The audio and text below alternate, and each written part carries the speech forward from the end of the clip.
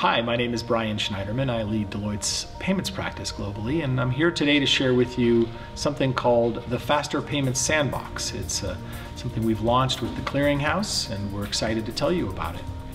Today, joining me is Tushar Puranik, who leads our technology for payments at Deloitte, as well as Peter Davey, who works with the Clearinghouse and is very involved and has been for a long time in faster payments. Gentlemen, thank you for joining me today. Thank you.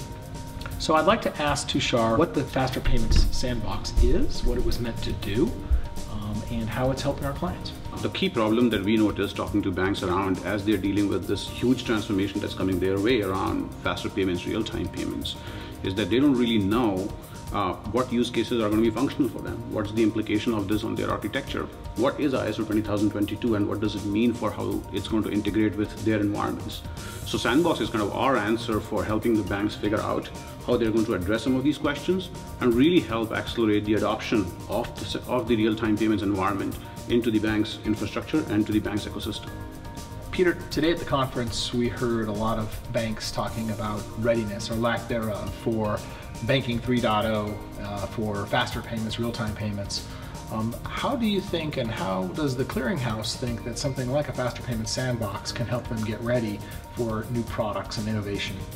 Yeah, we think it's paramount. You know, we've developed a set of rails, first set of rails that's been developed in the last 30 years uh, that payments can now ride on but it fundamentally shifts the way in which payments are going to be done in the future. And banks don't really have the environments that they need to be able to test out new products and services. I think the Faster Payment Sandbox is a great platform for them to be able to leverage and do that testing and learning in a safe and secure manner that they can actually work with their customers, understand what the end user game is going to be, and then hopefully find a way to deploy those products out in the marketplace. That's great. And we are very excited to have signed the agreement with the Clearinghouse to start testing. So Tushar, let's talk a little bit about uh, the readiness of the sandbox. Tell us a little bit about where it stands today. So the sandbox is already ready and some of our clients have actually already seen it. Um, and the feedback has been great. Like one of our clients actually said, I really wish I could take this into my bank and, and socialize this with my executives. Uh, they're going to really love uh, to see how, how this really plays out in real life. We are already integrated with uh, the clearinghouse in terms of how the messages would work. We are going to be starting to launch this in the first quarter of next year with the technical integration completely working. Excellent. Well, I hope you learned a little bit more about the sandbox today, the faster payment sandbox that we're developing and now testing with the clearinghouse.